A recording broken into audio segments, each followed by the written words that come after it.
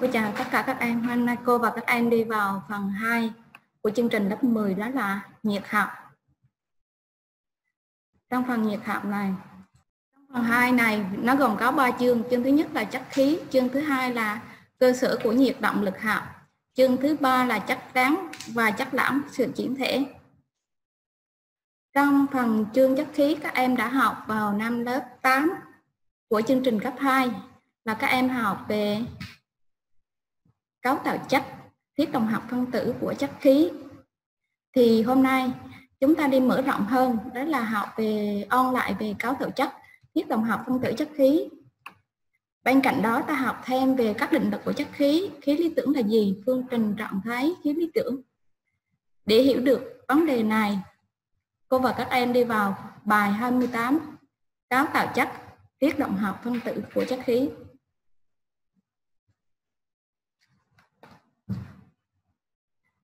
Nội dung của bài học ngày hôm nay đó là gồm có hai la mã. La mã thứ nhất là cấu tạo chất. Trong phần cấu tạo chất có ba nội dung chính, đó là những điều các em đã học về cấu tạo chất. Thứ hai là lực liên kết phân tử. Thứ ba, các thể ráng lỏng khí. Phần hai la mã khí gồm có hai nội dung. Nội dung thứ nhất, nội dung cơ bản của thiết động học phân tử chất khí Nội dung thứ hai là khí lý tưởng. Ta đi vào phần một la mã, cấu tạo chất. Một nhỏ, những điều các em đã học về cấu tạo chất.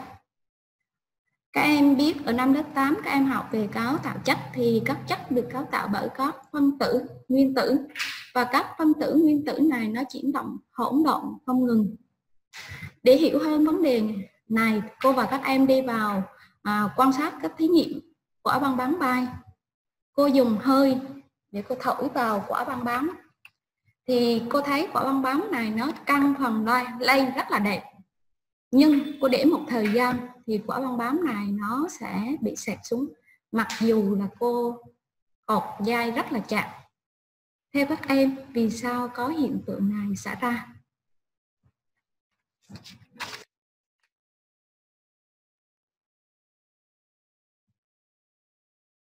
Bởi vì có hiện tượng này xảy ra thì dựa vào chương trình lớp 8 ta đã học đó là à, chất nó được cấu tạo bởi các phân tử nguyên tử. Như vậy trong quả băng bóng nó có các phân tử nguyên tử và các phân tử nguyên tử này nó chui ra phía bên ngoài và nó làm cho quả băng bóng này xẹp xuống. Để hiểu hơn về vấn đề này, cô và các em đi vào thí nghiệm tiếp theo, đó là cấu trúc phân tử muối ăn. Các em quan sát cấu trúc của phân tử muối ăn đây là cấu trúc tinh thể của muối ăn, nó có dạng hình lập phương. Và trong tinh thể muối ăn này nó có các phân tử. Và các phân tử này nó có khoảng cách. Như vậy thì dựa vào hai cái thí nghiệm này, cô đưa ra cái kết luận đầu tiên, đó là các chất được cấu tạo từ các hạt riêng biệt là phân tử. Giữa các phân tử có khoảng cách Cô và các em tiếp tục đi nghiên cứu thí nghiệm tiếp theo. Đó là cô nhỏ mực vào lọ nước. Cô dùng một là một giọt mực cô nhỏ vào lọ nước thì cô thấy rằng toàn bộ các loại nước này có đều có màu của mực hết. Theo các em, vì sao như vậy?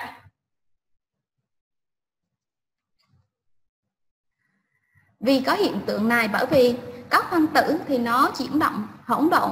Như vậy thì dẫn đến các phân tử mực nó sẽ chuyển động hỗn độn theo phân tử nước. Do đó ta giải thích được vì sao các loại mực này nó có màu của mực.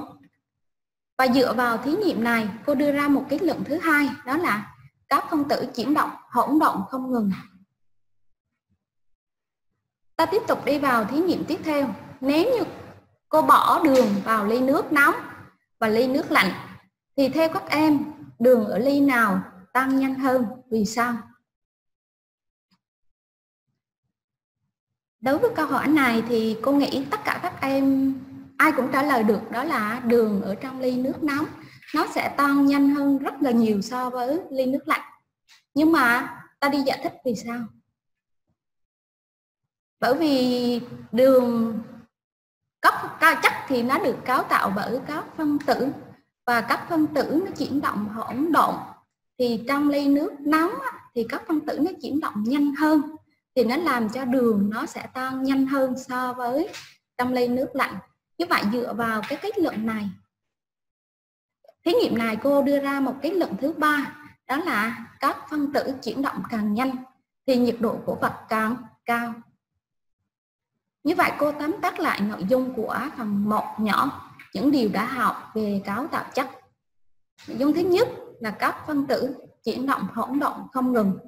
Nội dung thứ hai, các phân tử chuyển động càng nhanh thì nhiệt độ của vật càng cao.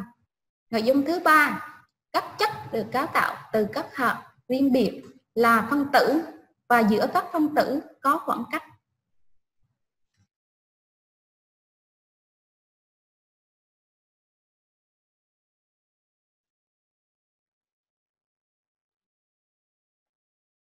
dựa vào cấu tạo chất ta có thể thấy các phân tử luôn luôn chuyển động hỗn động không ngừng. Nhưng vì sao có một số vật thì nó vẫn giữ nguyên hình dạng và kích thước của nó?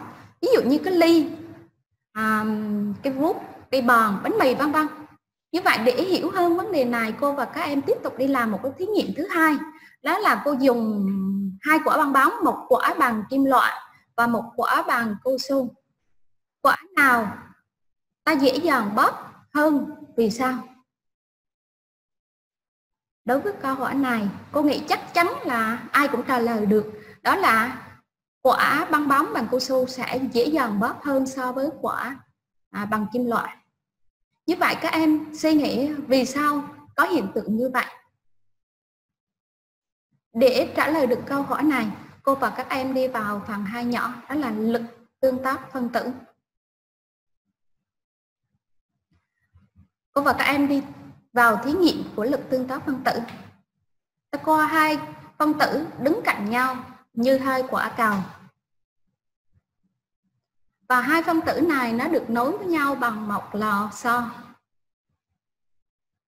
Ban đầu, cô giữ cái lò xo này nó ở vị trí cân bằng có nghĩa là cái lò xo này nó sẽ không bị nắng, không bị giãn như vậy lực của lò xo lúc này tác dụng vào hai quả cầu sẽ cân bằng nhau. Có nghĩa là lúc này nó sẽ ra xảy ra hai trường hợp, lực hút và lực bạn đẩy. Và lực hút, lực đẩy lúc này là cân bằng nên giữ cho hai quả cầu này nó đứng yên. Như vậy tổng hợp lực trong trường hợp này các em biết, nếu như hai lực cân bằng thì tổng hợp lực của nó sẽ bằng không đó là ôn về lực cân bằng của, của vật. Bây giờ cô và các em tiếp tục đi làm thí nghiệm thứ hai. Đó là cô nắng hai cái lò xo này. Cô nắng lò xo này lại. Khi cô nắng cái lò xo này lại thì các em biết dựa vào bài định lực đầu hồi của lò xo lò xo được nắng thì nó sẽ làm các em. Có xu hướng lực tác dụng sẽ là đẩy lò xo ra. Như vậy thì lúc này lực đàn hồi của nó đóng vai trò là lực đẩy và có xu hướng đẩy hai quả cầu này ra ngoài. Như vậy tổng hợp lực lúc này sẽ là lực đẩy. Và trong trường hợp này, lực đẩy nó sẽ lớn hơn so với lực hút. Nên hai quả cầu lúc này có xu hướng bị đẩy ra phía bên ngoài. Cô tiếp tục đi làm thí nghiệm tiếp theo đó là cô kéo giãn cái lò xo ra. Như vậy theo các em trong trường hợp này, lực nào sẽ lớn hơn? Lực đẩy hay lực hút? Thì cũng dựa vào cái bài định lực à, hút thì ta có khi mà ta dẫn là sao ra thì lực tác dụng của sò là sao nó sẽ có xu hướng co lại. Như vậy lúc này lực dẫn nó sẽ như thế nào? Tác dụng vào hai quả cầu và nó kéo là sao về lại với nhau, gần nhau thì lực hút sẽ lớn hơn rất nhiều so với lực đẩy và tổng hợp lực lúc này chính là lực hút. Qua thí nghiệm này, ta đưa ra nhận xét lực liên kết giữa các phân tử phụ thuộc vào yếu tố nào. Thì qua thí nghiệm này ta thấy là lực liên kết của các phân tử nó phụ thuộc vào những yếu tố nào đấy các em? Cái thứ nhất là khoảng cách giữa các phân tử với nhau. Nếu như khoảng cách gần thì nó sẽ có lực đẩy lớn hơn so với lực hút. Khoảng cách xa thì lực hút lớn hơn so với lực đẩy. Còn nếu như trong trường hợp mà hai phân tử này ở rất xa nhau thì các em nghĩ như thế nào? Thì nó sẽ không xảy ra hiện tượng lực hút hay lực đẩy hay là xảy ra nhưng mà tổng hợp lực của nó gần như bằng bằng không. Nó ở rất là xa nhau. Như vậy dựa vào đó ta đưa ra nội dung của lực tương tác giữa các phân tử độ lớn của các phân tử này phụ thuộc vào khoảng cách giữa các phân tử. Khoảng cách giữa các phân tử nhỏ, ép đẩy lớn hơn ép hút. Khoảng cách giữa các phân tử lớn, ép hút lớn hơn ép đẩy. Và khoảng cách giữa các phân tử rất lớn thì lực tương tác gần như bằng không.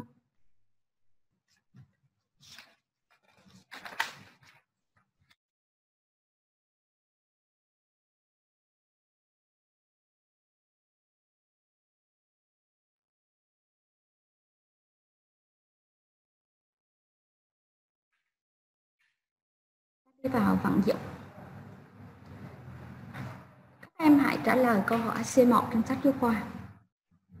Tại sao hai thỏi chì có mặt đáy phẳng đã được mài nhẵn tiếp xúc với nhau thì chúng hút nhau?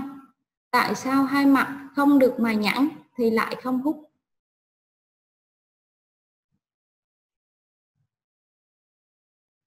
Các em suy nghĩ và trả lời câu hỏi. Thì câu hỏi này được giải thích như sau. Đó là khi mà hai thỏi trì um, đó hút nhau vì khoảng cách giữa các phân tử của nó như thế nào các em? Rất là gần nhau nên lực hút của nó lớn hơn so với lực đẩy. Do đó hai thỏi trì này nó sẽ hút lại gần nhau. Còn trong trường hợp hai thỏi trì này không được mài nhẵn á, thì khoảng cách của nó như thế nào? Lớn. Khoảng cách của hai là phân tử này lớn thì dẫn đến lực đẩy lớn hơn so với lực hút. Do đó, nó không thể hút lại gần nhau. Ta tiếp tục qua câu hỏi C2 tại sao có thể sản xuất thuốc viên bằng cách nghiền nhỏ dược phẩm rồi cho vào khung nắng mạnh? Nếu bẻ đôi viên thuốc rồi dùng tay ép sát hai mảnh lại thì hai mảnh không thể dính liền với nhau. Tại sao? Các em suy nghĩ câu hỏi.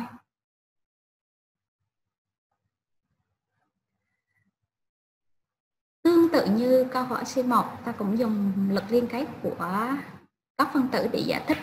Đó là khi mà ta bẻ đầu viên thuốc và ta nghiền nó ép lại với nhau thì các phân tử của nó nó sẽ khoảng cách giữa các phân tử của nó sẽ như thế nào rất là gần nhau mà khoảng cách rất là gần nhau thì dẫn đến lực hút lớn hơn lực đẩy. Do đó, các phân tử này nó hút lại được với nhau. Còn nếu như ta bẻ đôi viên thuốc ra thì ta không, khoảng cách giữa các phân tử lúc này nó sẽ lớn thì lực đẩy sẽ nhiều, lớn hơn so với lực hút. Do đó, hai viên thuốc này nó sẽ không dính lại với nhau.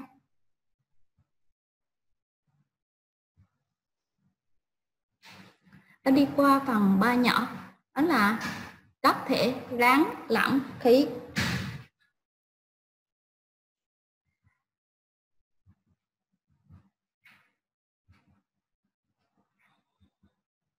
Các thể rắn lãng khí và à, từ những thể rắn lãng khí này nó sẽ chuyển qua một dạng khác đó là plasma. Và bây giờ các em quan sát hình ảnh tồn tại của nước các em có. Thứ nhất là nước đá, thứ hai là ly nước, thứ ba là hơi nước. Bây giờ các em xem cấu trúc tinh thể của nước đá. Các em thấy các phân tử nước đá nó dao động quanh một vị trí cân bằng và khoảng cách giữa các phân tử này nó rất là gần nhau. Tiếp theo đó là cấu trúc tinh thể của nước thì các em thấy, các em so sánh giữa hai cấu trúc phân tử này giống với nhau hay khác nhau? Hoàn toàn khác nhau. Đối với nước thì các phân tử này nó ở xa hơn và nó chuyển hoạt động, hỗn động hơn. Nhưng nó vẫn dao động quanh một vị trí cân bằng. Còn đối với hơi nước thì khoảng cách giữa các phân tử này nó rất là xa nhau và nó dao động một cách hỗn loạn không theo một trật tự nào hết. Như vậy dựa vào cấu trúc tinh thể của ba chất rắn lỏng khí ta đưa ra các kết luận. Ở thể rắn lực tương tác giữa các phân tử rất mạnh, nên giữ được các phân tử ở vị trí cân bằng xác định làm cho chúng có thể dao động quanh vị trí cân bằng này. Ở thể khí, lực tương tác giữa các phân tử rất yếu, nên các phân tử chuyển động hoàn toàn hỗn loạn. Ở thể lỏng lực tương tác giữa các phân tử rất lớn nó lớn hơn thể khí. Nhưng mà nó nhỏ hơn thể rắn nên các phân tử này dao động quanh vị trí có thể và nó có thể di chuyển được. Như vậy dựa vào cái ba thể khí lỏng rắn mà cô vừa mô tả ở trên các em làm bài tập cho cô à, so sánh ba thể này. Thứ nhất so sánh về khoảng cách giữa các phân tử thứ hai so sánh về sự tương tác giữa các phân tử. Thứ ba các em so sánh về chuyển động phân tử. Thứ tư các em so sánh về hình dạng. Năm là tinh thể, à, thể tích. Như vậy các em lấy bút chì ra ghi vào vở nhốt. Các em ghi sang sơ rồi các em đã tra kết quả của cô thì các em làm bài đi.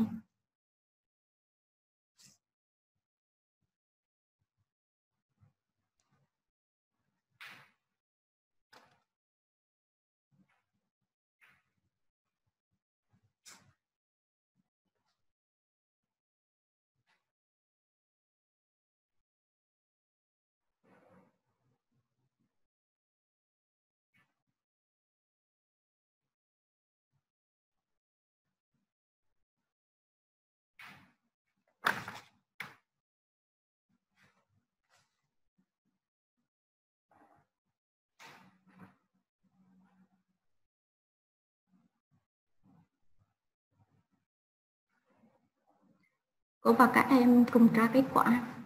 Đối với thể khí, khoảng cách phân tử là rất là lớn, thể lỏng rất là nhỏ, thể rắn rất nhỏ.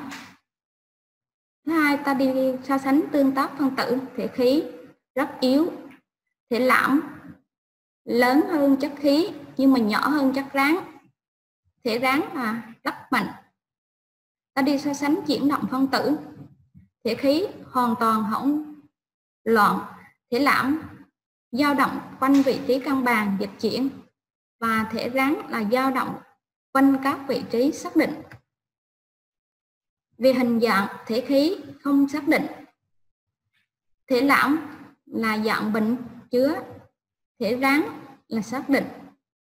Về thể tích, thể khí không xác định, thể lãm xác định thể rắn xác định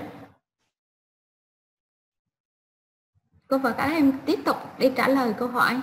Các em hãy so sánh tính chịu nắng của các chất rắn lỏng khí và giải thích vì sao. Như vậy thì qua những thí nghiệm trên, ta giải thích câu này là với các chất rắn thì ít bị nắng nhất vì nó có mật độ phân tử lớn.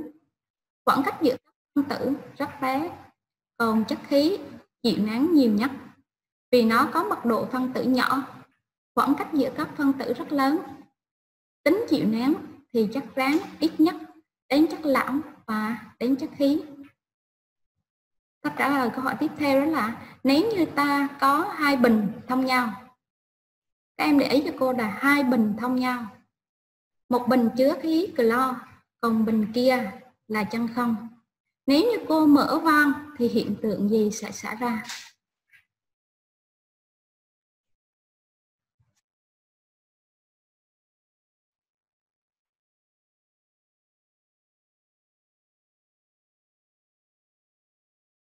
Khi mà cô mở van, khí nó sẽ truyền từ bình clo sang bình chân không và nó sẽ chiếm toàn bộ thể tích của hai bình. Thí nghiệm này thể hiện sự bành trướng của chất khí có nghĩa là chất khí này dùng có số lượng phân tử ít hay nhiều thì nó cũng chiếm toàn bộ thể tích của bình chứa. Như vậy thì có phải là chất rắn chất lỏng này nó luôn tồn tại hay không?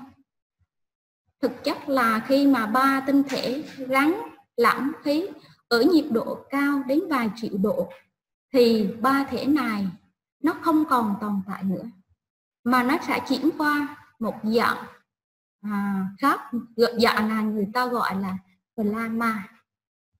Plasma này nó chỉ tồn tại khi các nguyên tử hai phân tử của vật bị ion hóa nó xuất hiện ở trên mặt trời.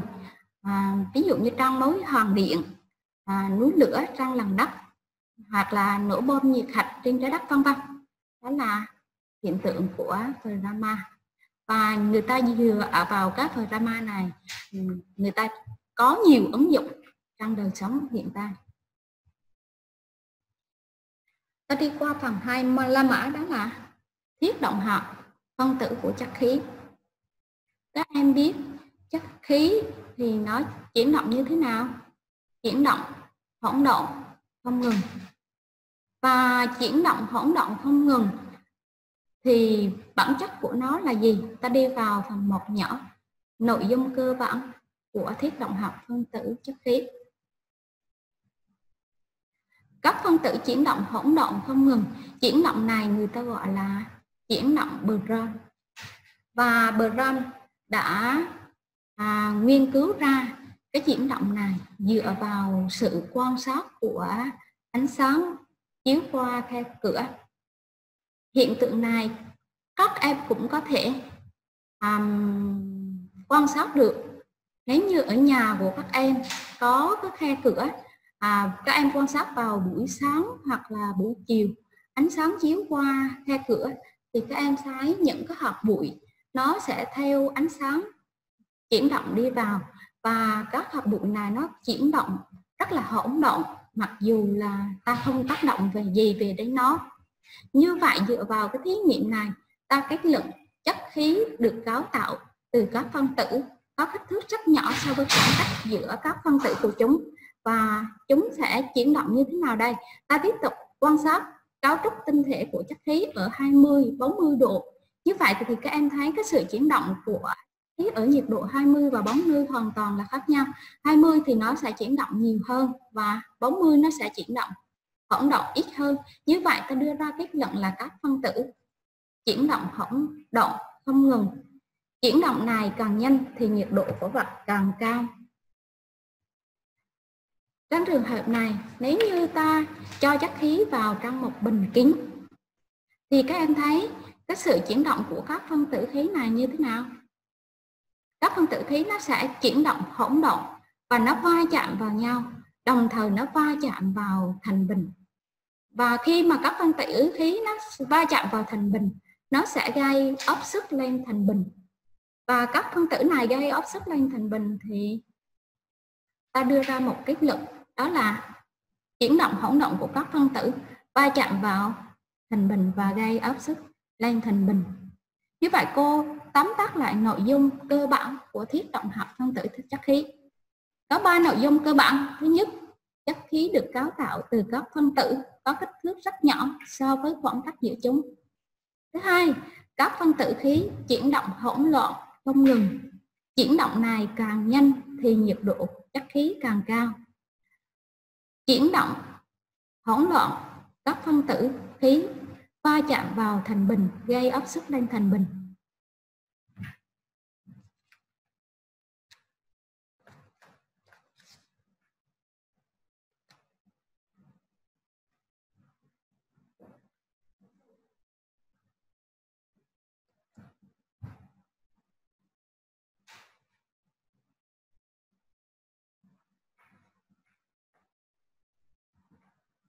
Trong thực tế, khi khảo sát chất khí, các phân tử chất khí có kích thước rất nhỏ so với khoảng cách giữa chúng và lực tương tác giữa các phân tử thì lại rất là yếu.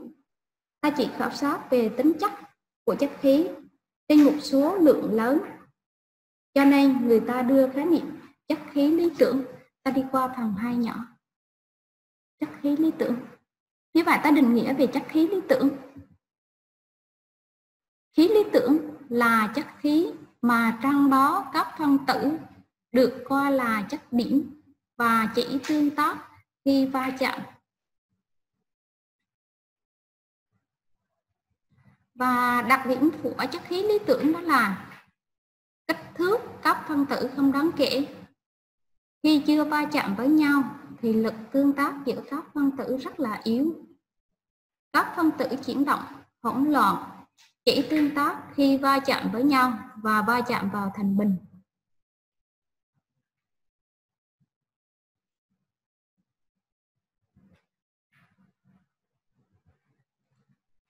Và đây là một số thực trạng của ô nhiễm không khí. Các em thấy không khí nó bị ô nhiễm rất là nặng. Hà Nội xếp thứ hai về ô nhiễm không khí tại Đông Nam Á.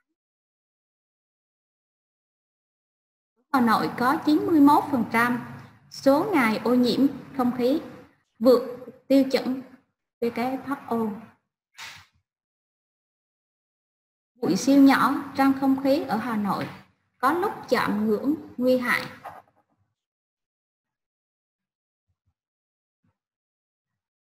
Bảy triệu người trên thế giới tử vong mỗi năm do phơi nhiễm với các hạt bụi siêu nhỏ trong không khí.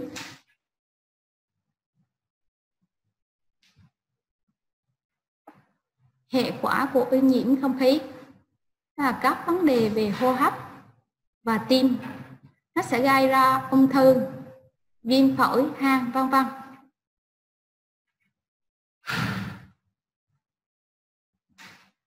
Và nó làm cho trái đất nóng lên hoặc là mưa axit vân vân. Biện pháp giảm ô nhiễm không khí thì ta phải làm gì? Thứ nhất là ta sử dụng phương tiện công cộng nhiều hơn là sử dụng phương tiện cá nhân. Hoặc là sử dụng năng lượng mặt trời. Ta chuyển từ bếp ga sang bếp từ. Hoặc là ta dùng những cái bộ phận mà má hút bụi vân vân. Và khi đi đường thì các em nên đeo khẩu trang à, bằng áo khoác ngoài để tránh ô nhiễm từ không khí bên ngoài. Bây giờ ta đi vào phần bài tập củng cố. Câu 1. Phát biểu nào sau đây không đúng khi nói về cấu tạo chất? Câu A.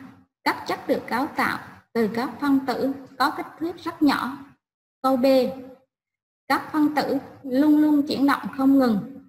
Câu C. Các phân tử chuyển động càng nhanh thì nhiệt độ của vật càng cao. Câu D. Giữa các phân tử có lực tương tác. Các em trả lời câu hỏi cho cô. Nhớ đề bài này. Chọn cao không đúng. Thứ hai, nói về cấu tạo chất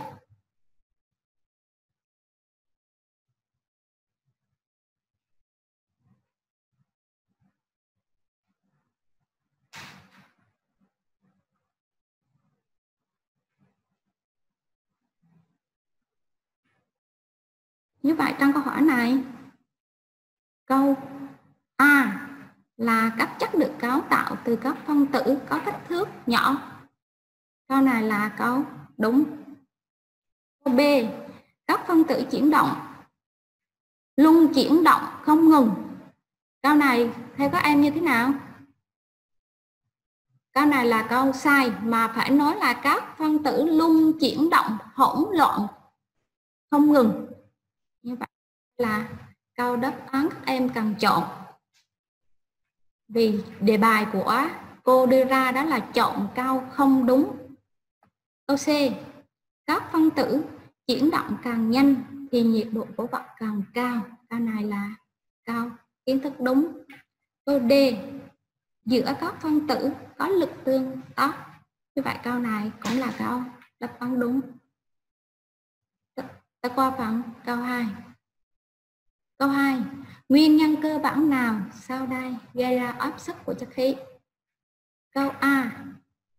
Do chất khí thường có khối lượng riêng nhỏ. Câu B. Do chất khí có thể tích lớn. Câu C. Do khi chuyển động các phân tử, khí va chạm với nhau và va chạm vào thành bình. Câu D. Do chất khí thường được đựng trang bình kính.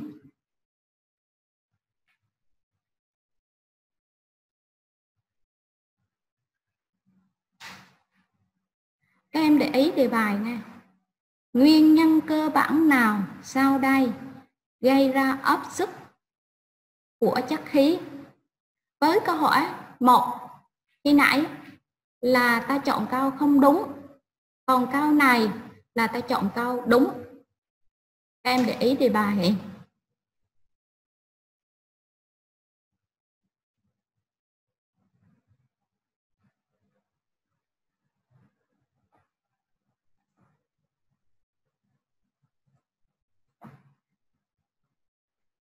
Như vậy ta đi làm câu A. Chất khí thường có khối lượng riêng nhỏ.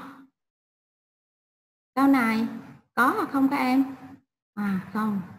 Thứ hai, chất khí do chất khí có thể tích lớn. Đúng không? Chất khí có thể tích như thế nào? Chất khí có thể tích của bình, bình chứa. Câu C. Do khi chuyển động, các phân tử khí va chạm với nhau và va chạm vào thành bình. Câu này chính là ý ba của thiết, nội dung thiết động học phân tử. Như vậy câu này chính là câu câu đúng. Câu D, do chất khí thường được đựng trong bình kín.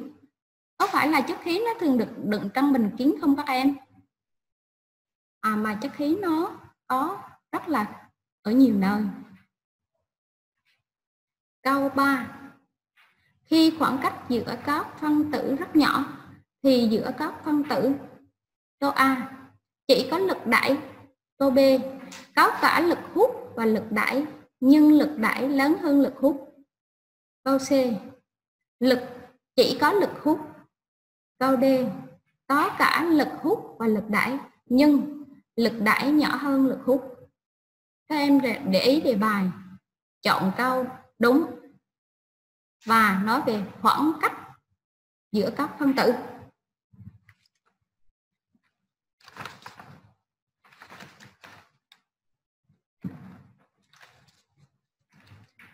Như vậy câu này các em nhớ lại kiến thức phần hai nhỏ đó là lực tương tác phân phân tử. Như vậy cô nhắc lại nội dung của phần hai nhỏ, đó là hai phân tử mà ở gần nhau thì lực đẩy của nó như thế nào? lớn hơn so với lực hút còn hai phân tử mà ở xa nhau thì lực hút nó sẽ lớn hơn so với lực đẩy hai phân tử mà ở rất xa nhau thì lực tương tác của nó luôn luôn sẽ gần bằng không như vậy thì trong các phân tử thì nó luôn xảy ra lực hút và lực đẩy nhưng mà lớn hay là nhỏ thì phụ thuộc vào khoảng cách giữa các phân phân tử. Như vậy ta qua, quay về câu hỏi số 3. Câu A, chỉ có lực đẩy. Đúng hay sai các em? Sai. Vì hai phân tử nó luôn luôn tồn tại hai lực đó là lực hút và lực đẩy. Câu B có cả lực hút và lực đẩy nhưng lực đẩy lớn hơn lực hút. Câu này đúng hay sai? À đúng, bởi vì đề bài của cô cho là khoảng cách giữa các phân tử rất nhỏ. Khoảng cách của các phân tử nhỏ thì ta có cái luận là lực đẩy lớn hơn so với lực. Như vậy đây là câu đúng. Câu C chỉ có lực hút, sai. Câu D có cả lực hút và lực đẩy nhưng lực đẩy nhỏ hơn lực hút. và qua câu hỏi thứ tư. Tính chất nào sau đây không phải là của phân tử ở thể khí. Câu A, chuyển động không ngừng. Câu B, chuyển động càng nhanh thì nhiệt độ của vật càng cao. Câu C, giữa các phân tử có khoảng cách. Câu D, có lúc đứng yên, có lúc chuyển động. em đọc kỹ câu đề bài, đó là chọn câu không đúng ở thể khí. Câu không đúng ở thể khí.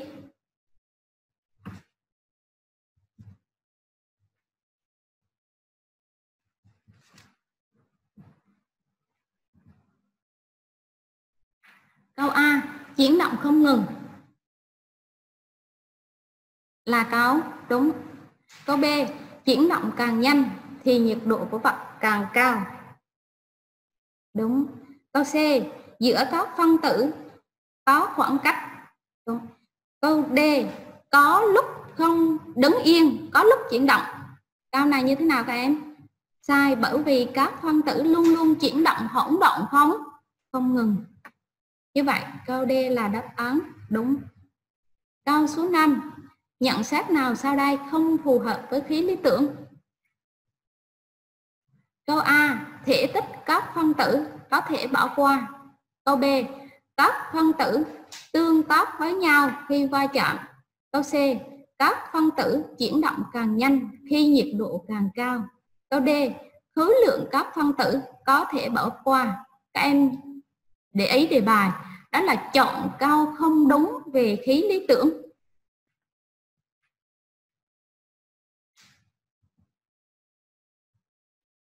Câu A à? thể tích các phân tử có thể bỏ qua. Câu này, đúng. Câu B, các phân tử chỉ tương tác với nhau khi va chạm. Câu này, kiến thức đúng. Câu C, các phân tử chuyển động càng nhanh khi nhiệt độ càng cao. Đây là kiến thức đúng. Câu D, khối lượng các phân tử có thể bỏ qua. Như vậy, câu này như thế nào các em? Đây là câu mà ta cần chọn đó là chọn câu không phù hợp với khí lý tưởng.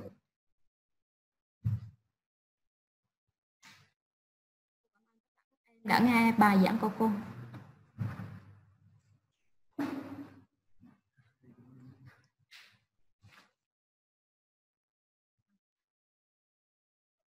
Và